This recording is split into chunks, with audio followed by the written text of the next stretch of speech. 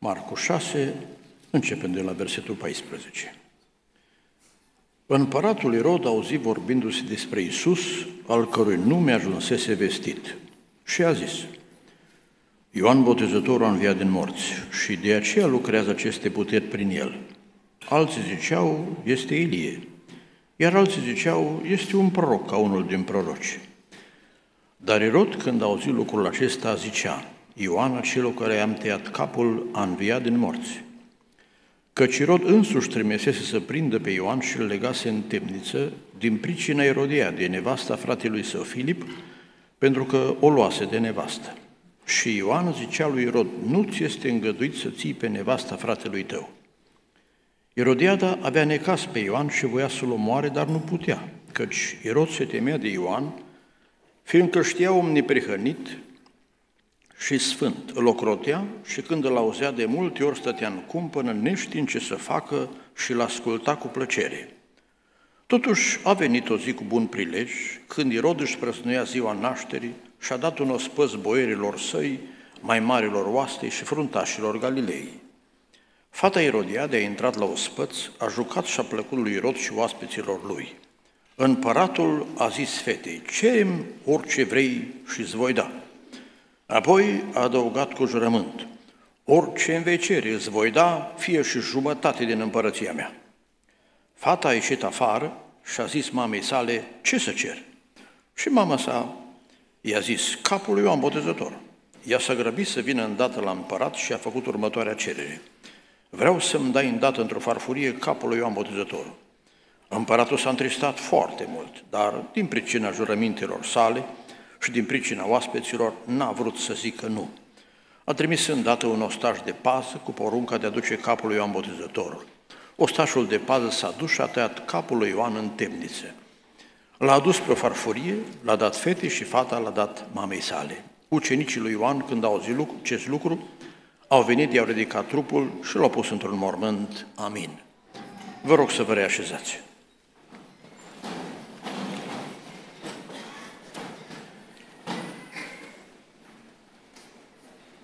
În timp ce se cânta aici, mi-am amintit că este scris în cartea Apocalipsei că în cer Dumnezeu este slăvit în permanență.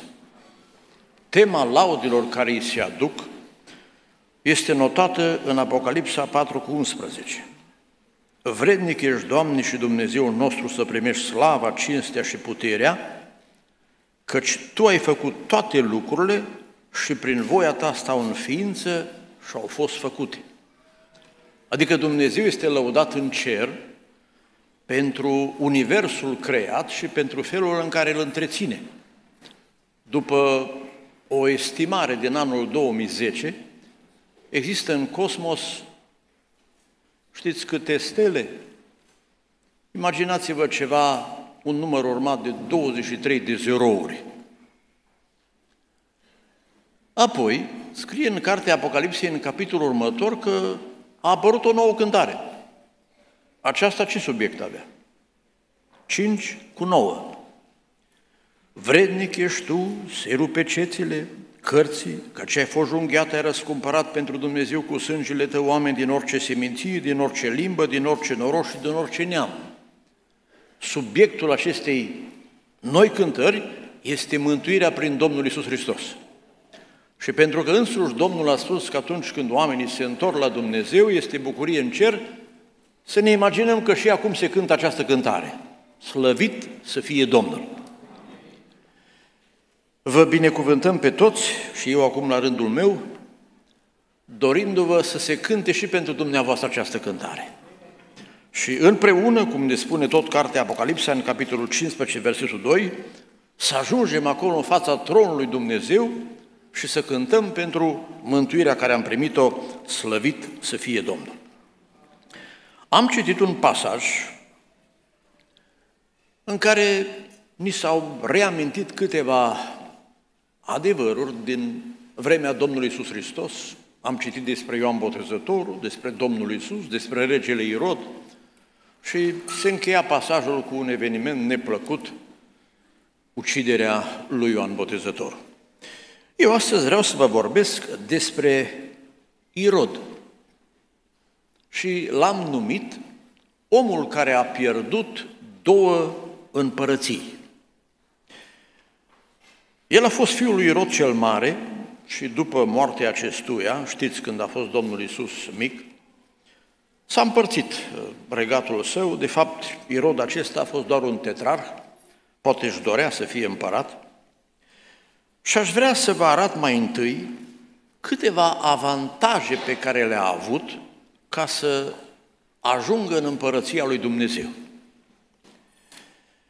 În primul rând, spune Scriptura aici, vă citesc în versetul 20, Irod se temea de Ioan fiindcă îl știa om neprihănit și sfânt, îl ocrotea și când îl auzea de multe ori, înseamnă că a ascultat predicile lui Ioan Botezător. Nu știu în ce împrejurări a fost la slujbă, dar care a fost mesajul acestui mare om al lui Dumnezeu? Vă citesc ceea ce nota Evanghelistul Matei în capitolul 3. El zicea, pocăiți-vă căci împărăția cerurilor este aproape. A fost unicul subiect al profetului, împărăția lui Dumnezeu. De altfel, Domnul Iisus Hristos a continuat acest mesaj și scrie în Matei 4 cu 17, Iisus a început provăduirea și a zis, pocăiți-vă căci împărăția cerurilor este aproape. Și pilde care le spunea Domnul Iisus Hristos, toate aveau același subiect, împărăția lui Dumnezeu. De exemplu, vă citesc din Luca 9, 11, unde stă scris, Iisus le-a primit bine pe mulțimi, cum v-ați adunat și dumneavoastră aici, le vorbea despre împărăția lui Dumnezeu. Vă interesează subiectul? Astăzi, din nou, Dumnezeu ne vorbește despre împărăția sa. Pentru că va veni o zi, spune Cartea Sfântă în Apocalipsa, capitolul 11, când se va împlini ce scrie aici. Vă citesc de la versetul 15. Împărăția lumii, adică regatele, confederațiile ce vor fi atunci când Domnul va veni, a trecut în mâinile Domnului Dumnezeului nostru, ale Hristosului Său și El va împărăți în vecii vecilor. Împărăția lui Dumnezeu se va instaura și va fi o împărăție eternă pentru toți sfinții. Irod, când auzea acest subiect, asculta cu plăcere. Acum și dacă n-ați mai fost altă dată la vreo biserică, dar știu că ați mai fost, cel puțin astăzi aveți ocazia să auziți despre împărăția lui Dumnezeu. Și acesta este un mare favor. Spune Cartea Sfântă la Roman, la capitolul 10, citesc cuvintele Apostolului Pavel, începând cu versetul 17, uh, astfel credința, pentru că împărăția lui Dumnezeu nu e ceva ce se vede, să vă dăm o adresă, să vă arătăm imagini, o percepem prin credință, nu prin vedere. Credința vine în urma auzirii, iar auzirea vine prin cuvântul lui Hristos. Astăzi și în alte ocazii ați auzit și auzirea este o ocazie de a se forma credință în mintea noastră, de a se deschide orizontul și de a pricepe lucrurile pe care Dumnezeu le va aduce. Și scrie aici, în versetul 9, dacă mărturisești deci cu gura ta pe Iisus ca Domn, pentru că El aduce împărăția, este a Lui, El este împăratul ei, da, crezi din toată inima ta că Dumnezeu l-a înviat din morți, vei fi mântuit, căci prin credința din inimă se capătă neprihănirea, adică iertarea de păcate și primești un nou statut. Și prin mărturisirea cu gura se ajunge la mântuire. Un al doilea avantaj care l-a avut Irod în a dobândi împărăția. Am citit în versetul 14 așa. Împăratul Irod a auzit vorbindu-se despre Isus. N-a fost de față la predicile Domnului, dar a auzit. Ce a auzit? Minunile care Domnul le făcea. Și zicea el, Ioan Botezătorul a înviat din morți și de aceea lucrează aceste puteri prin el. Și notează evanghelistul Luca în cartea sa la capitolul 9, Vă citesc de la versetul 7. Cârmuitorul Irod auzi vorbindu despre toate lucrările săvârșite de Isus. Și scrie aici în versetul 9, căuta să-l vadă. Nu știu dacă ați văzut vreo minune, dar de auzit ați auzit, așa -i?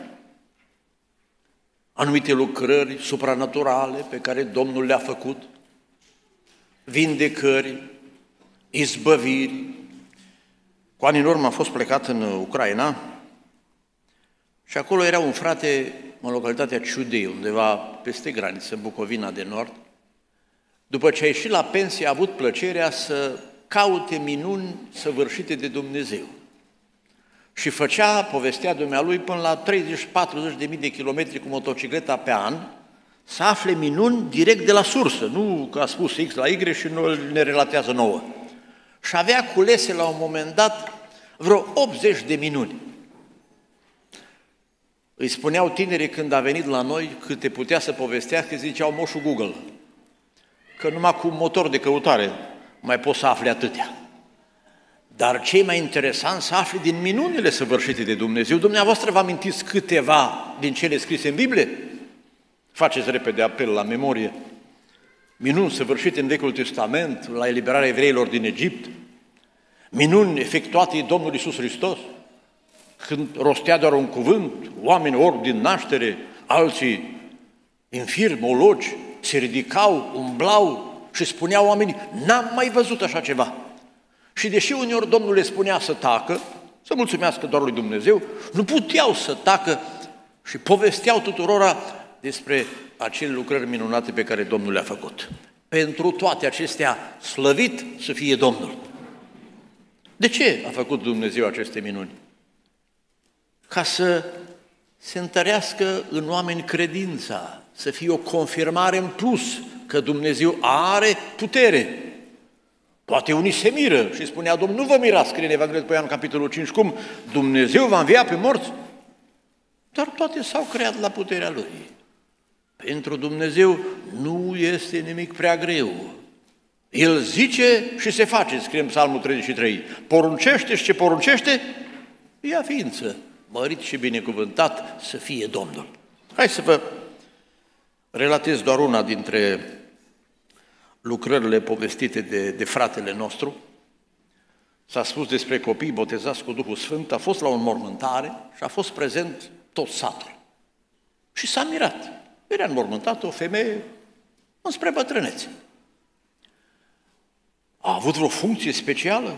Și după ce s-a derulat slujba, i-au dat cuvântul primarului, care a spus așa, noi am venit toată conducerea localității și mă bucur că au venit toți oamenii care au putut, pentru că existența comunii noastre, a satului, se datorează acestei femei. Asta a stârnit curiozitatea fratelui, cum adică?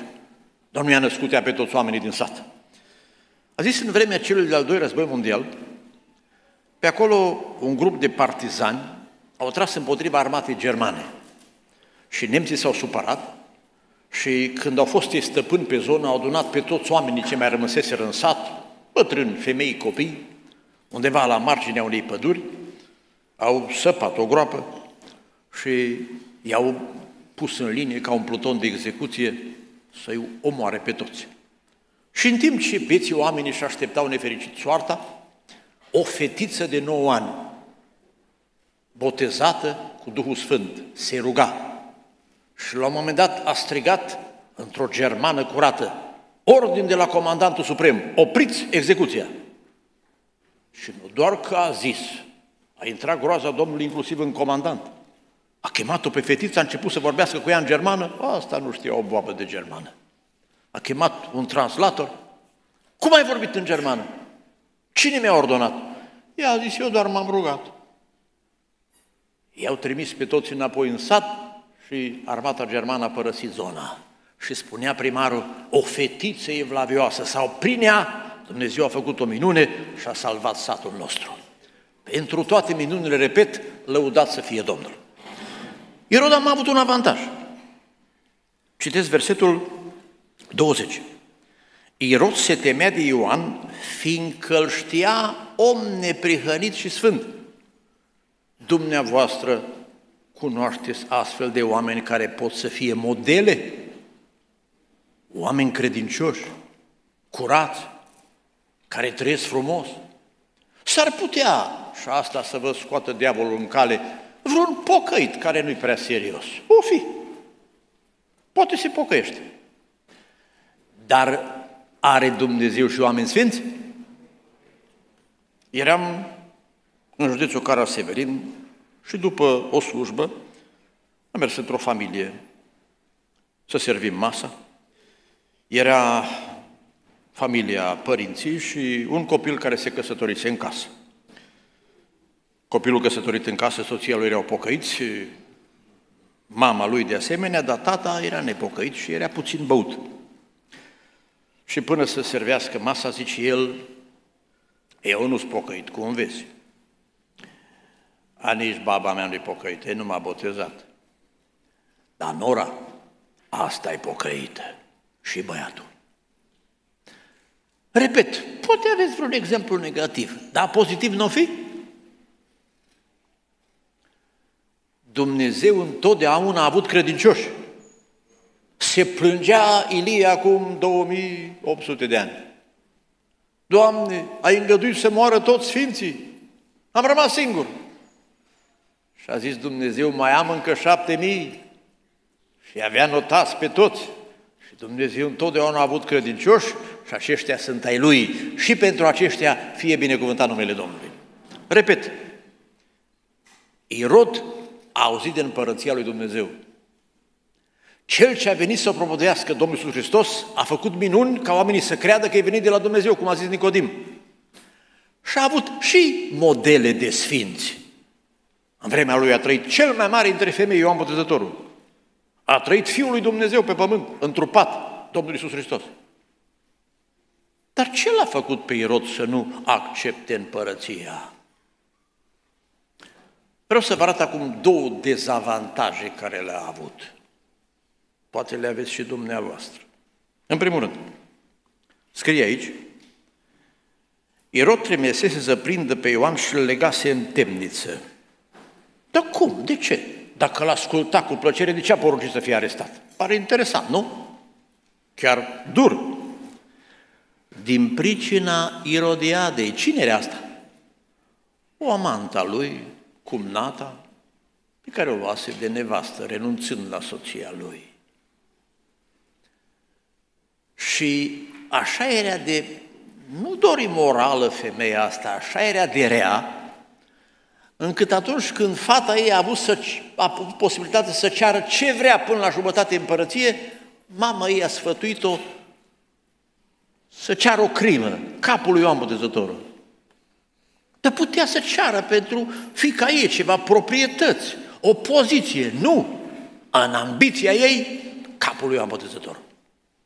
Se spune că în antichitate, și asta a fost de când lumea un om ura foarte puternic pe un altul. Și cei de la conducerea comunității locale i-au zis, ca să-l prindă oarecum în răutatea lui, să-i o demonstreze, ce vrei să-ți dăm, dar vecinului tău, care de fapt era dușmanul lui, îi dăm dublu. Și s-a gândit el, dacă mie îmi dă o proprietate, lui îi dau două. Până la urmă am găsit.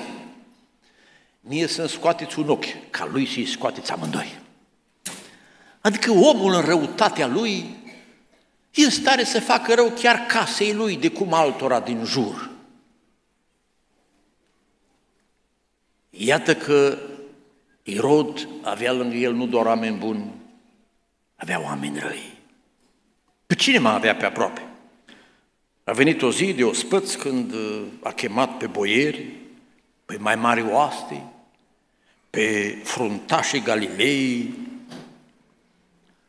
și când a venit fata Erodiade să danseze, fac aici o scurtă paranteză, în vremea aceea, bărbații aveau spățul într-o parte și femeile în alta, cum a fost și pe vremea lui Ahasveros, care își citiți în cartea Estera.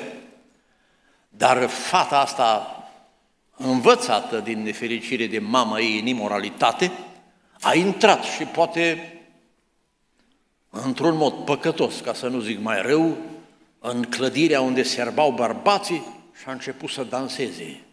Și oaspeților le-a plăcut această ieșire în scenă ce nu se obișnuia atunci. Înseamnă că și ei erau corupți. Deci care este avantajul care l-a avut Irod? Că avea în jurul lui oameni corupți, imorali, păcătoși, care îl influențau și întotdeauna lumea asta în jurul nostru vor fi astfel de oameni, poate în familie, poate la serviciu, poate colegi de școală. Trăim într-o lume murdară. Îmi spunea fiul unui păstor din Italia în clasa 11 Într-o pauză a sărit o colegă în brațe și a zis, ești ultimul virgin din clasă, nu te mai iert. Vă dați seama ce avem în jur? Te vor corupe? Un alt dezavantaj care l-a avut. Am citit deja că n-a fost mulțumit cu nevasta lui, a afectat și familia fratelui său Filip și a luat nevasta. Și aici am amintit deja că i-a plăcut cum dansa fata asta într-un mos păcătos. A fost afectat de păcatele trupului. Și când mai mult, dacă nu acum lumea este atât de mizeră, dacă ne mintim doar la rata divorțurilor, campioană în Europa e Belgia cu 70% divorțuri și nu se iau un calcul la o asemenea statistică pe cei ce trebuie în concubinaj. Dacă ne gândim doar la ce se arată pe internet, acum puteți fi ispitiți mult mai tare decât Irod. Și tinerii noștri, în mod special, au de suferit aceste ispitiri.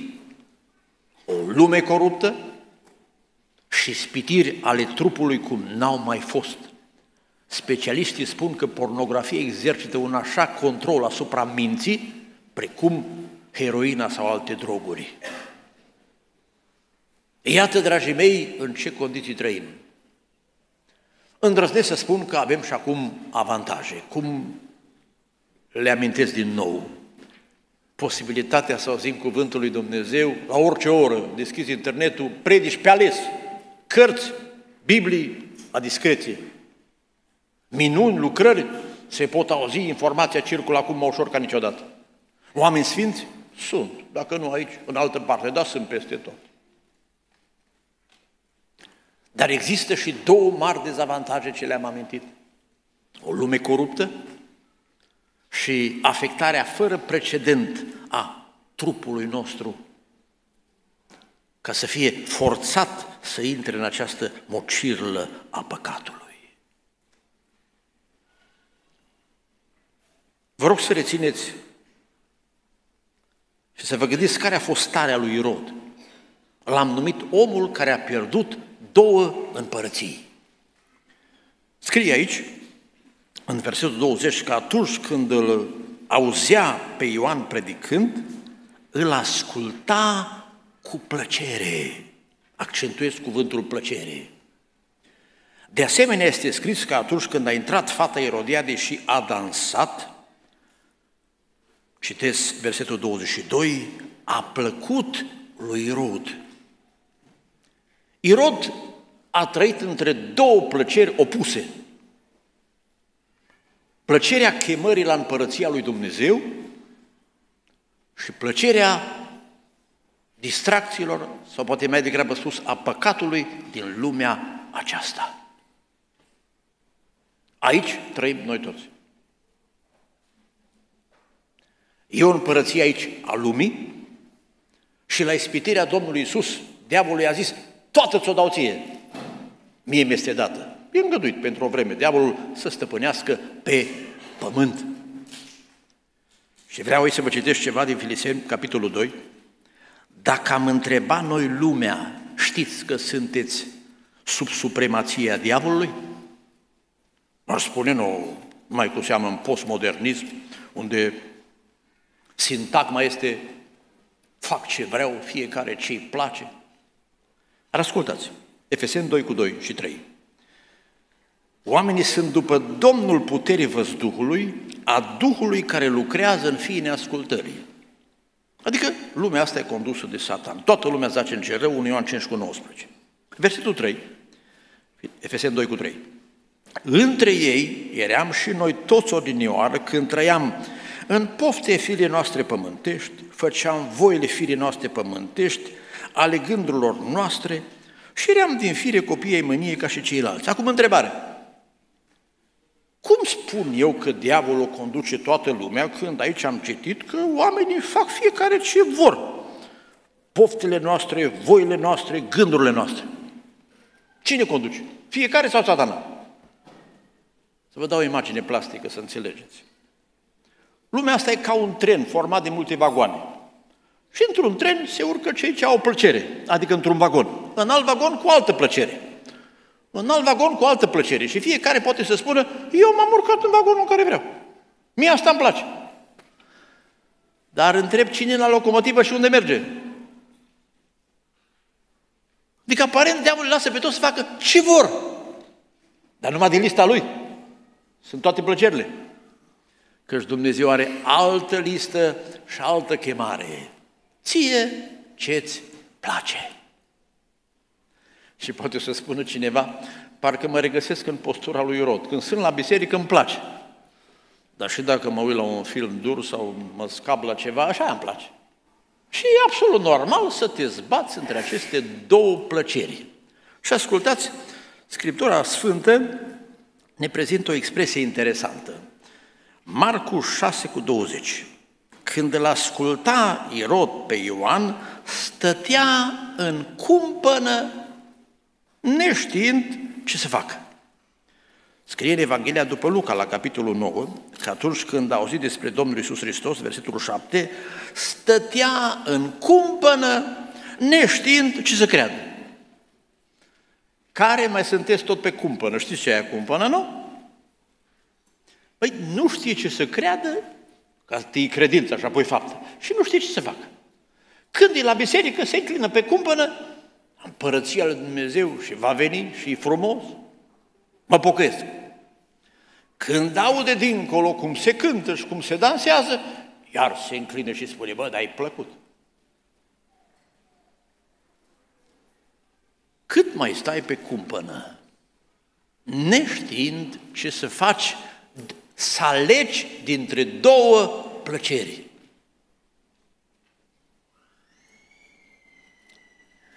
La o slujbă, după ce s-a încheiat, o doamnă, femeie mai tânără a venit la predicator și a zis, sunt supărată pe dumneavoastră. De ce? Așa de frumos ați descris împărăția lui Dumnezeu și raiul. Și asta e un motiv ca să fii supărat? Da. Dar de ce? Pentru că nu poți să ajung acolo. Și predicatorul sub călăuzire o întreabă, nu vă supărați, sunteți căsătorită? Și ea sare sus cât colo și zice, ce stai treaba ta? Ce poate aici ai baiul. Că a mai fost un caz în Evanghelie când Domnul a spus unei femei că poate să dea apă care dacă o bea, trește veșnic. Și femeia a zis, dă-mi apa asta. Și Domnul a zis, întâi trebuie să rezolvăm altă problemă. Du-te vină cu bărbatul aici. A, dar chiar momentan nici nu sunt cununată. Adică trebuie să te decizi asupra unui mod de viață. Nu poți să rămâi cu două feluri de plăceri, una venită din Dumnezeu, cealaltă inspirată de cel rău. Dar vorba poetului Petru Cârdei, aici se manifestă niște baiuri că omul vrea să ocupe două raiuri. Cu orice preț, cu riscuri de mormânt, vrea unul în cer, dar și unul pe pământ. Numai că atunci când toate planurile îți cad, din două raiuri mai rămâne un iad. Și Rod a pierdut două împărății. A intrat în disgrația cezarului și a fost expulzat împreună cu doamna lui, care a oferit plăceri de moment undeva în Galia. Și a pierdut și tronul de jos și a pierdut și împărăția de sus. Acum s-ar putea asta de jos să nu pierzi în mod prematur și să trăiești până la adânci bătrânețe. Dar tot se pierde, așa N-are nimeni act adițional după 100 de ani sau după 200 de ani. Nu? Dar Dumnezeu poate să ne dea veșnicia, dragii mei.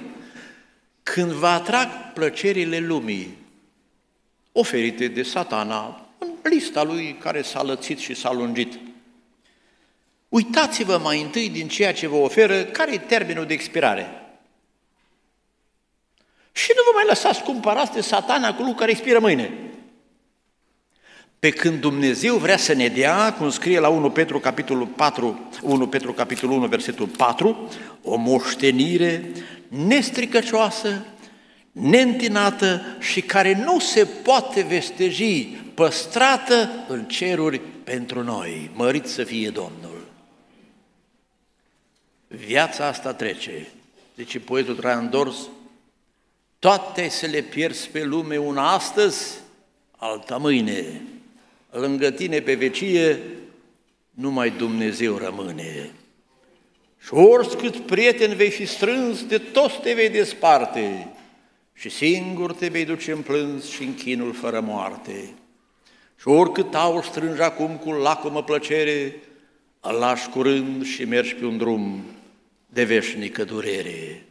Dar cepțele vei fi acum căutând de veșnicie și dânci este fum și scrum spre o veșnică mărire. Moise, omul lui Dumnezeu, a fost pus și el în fața acestei alegeri și suntem puși noi. A fost salvat în mod providențial de pe apele Nilului, a fost crescut la casa lui Faraon și a fost școlit, ne spun sursele istorice, la cele mai înalte școli din On și Heliopolis, cum ar fi acum un Oxford, un Cambridge, a avut mare har și a avut de ales în a rămâne la Palatul Regal și nu uitați că Egiptul era în vremea aceea puterea numărul unu pe lume, și colibele sărace ale evreilor săi care aveau promisiune că Dumnezeu îi va duce într-o țară eternă. Și scrie în Everi 11 de la versetul 24, prin credință.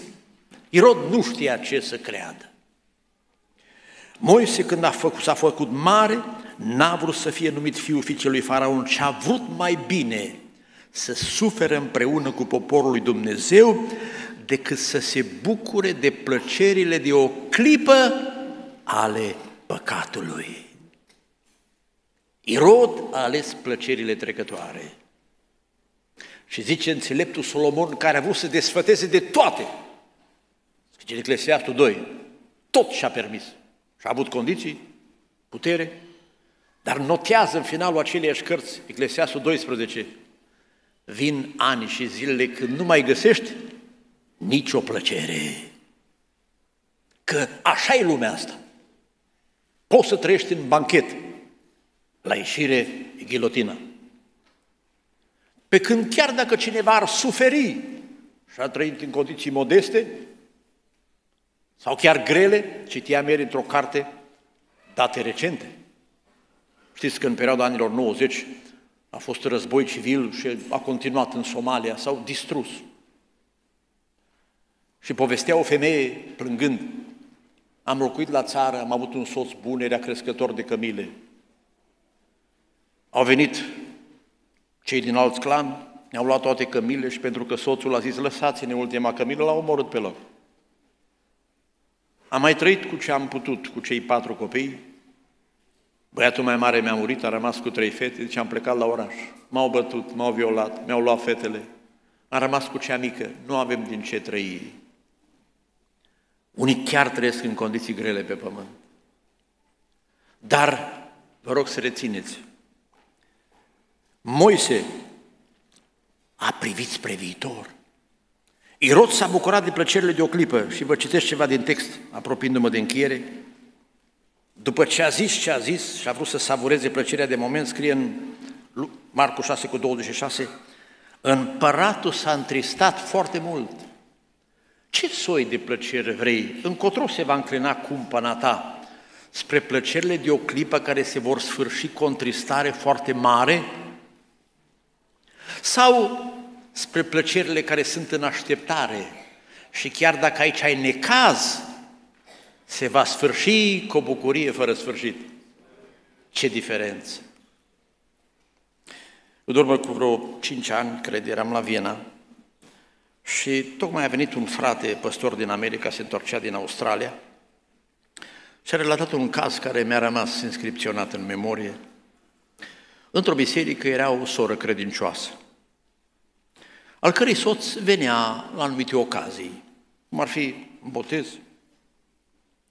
Era un om binevoitor, era un patron, făcea anumite donații către biserică, avea în vedere săracii, dar a preferat să rămână lipit de plăcerile de aici.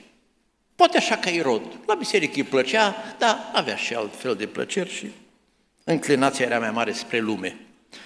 Au trecut așa ani până când într-o zi, într-o călătorie de afacere, a acuzat ceva dureri. Când s-a dus la o consultație mai aprofundată, la analize, o boală terminală se așezase în trupul lui. A rămas, nu după multă vreme, imobilizat la pat și l-au vizitat cei de la biserică.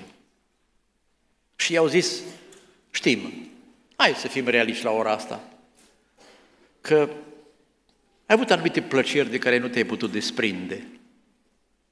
Și de aceea nu te-ai hotărât pentru Dumnezeu. Acum acele plăceri nu mai există. Nu le mai poți gusta. Nici acum n-ar fi momentul să te botezi. Că Ioan Botezătorul avea un asemenea mesaj și oamenii se botezau. Și el a zis printre suspine, credeți că nu m-am gândit la asta? Dar să vă spun ce am visat. Se făcea că a venit spre mine o ființă strălucitoare, o strălucire ce n-am văzut pe pământ. Avea pe braț o haină, în palmă cu nună. Și un vis l-am identificat ca fiind Iisus Hristos. Și mi-a zis, am umblat mult vreme cu ele pe mână, pregătit să ți le dau. Mai respins sistematic. Să știi că nu ți le mai dau, le dau la altcineva. Și a zis, n-are rost să mai mă botezați, e prea târziu pentru mine. Trag nădejde că pentru dumneavoastră nu e prea târziu. Să nu mai stați în cumpănă. Am fost undeva în județul Sălaș și îmi povesteau frații despre un caz.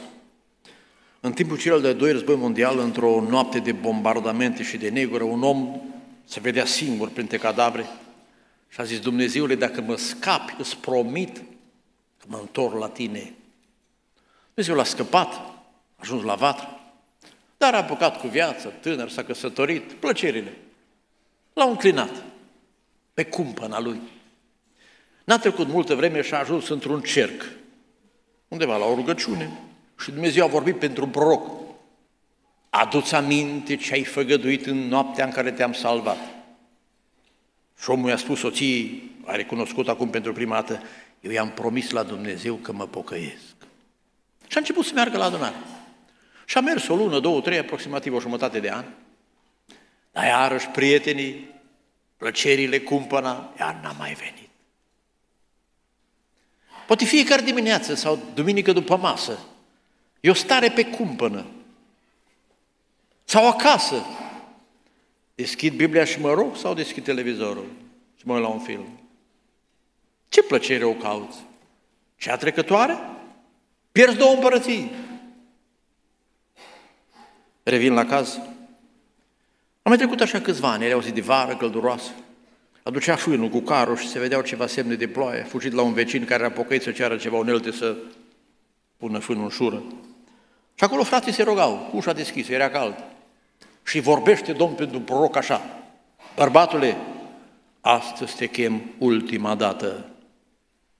A venit de acolo cu furcile în mână, tremurând, ce? Mi-a zis Dumnezeu că mă cheamă ultima dată. Și iar a început să meargă la biserică. Tot așa, vreo jumătate de an și iar cumpăna s-a înclinat. Și iar n-a mai mers. A mai trăit. Și spunea oamenii la țară, stătea pe bancă și vedea oamenii că merg la biserică și le spunea, duceți-vă că asta e mare chemare de la Dumnezeu. Dar hai cu noi! N-am venit când m-a chemat și nu mă mai primește. Să știi că nu te poți întoarce la Dumnezeu când îți planifici, nici când vrei, doar când Dumnezeu te cheamă și când El te ajută. Repet și închei. Dumnezeu ți-a vorbit despre împărăție. Dumnezeu a făcut minuni în lumea asta ca să-i convingă pe oameni. Sunt oameni care deja au acceptat împărăția și trăiesc un model nou de viață, neprihănit și sfânt ca Ioan. Dar în același timp în jurul nostru e o lume coruptă și noi, cum se spunea, suntem un propriu dușman cu înclinații păcătoase. Suntem virusați, dacă vrem. Și trăim astfel între două plăceri. Stăm pe cumpănă. Nu știa ce să creadă, nu știa ce să facă. Până la urmă tot a făcut ceva, nu? Sub presiune. O, dacă s-ar fi mântuit! L-ar fi îmbrățișat pe Ioan Botezătorul în împărăție, ce bine că te-am ascultat. Fie ziua de astăzi, zi în care să vă înclinați și cum au bihorenii o vorbă, să vă îmburde Dumnezeu în rai. Să încline cumpăna în partea cea bună, să știm ce să credem și să știm ce să facem. Amin.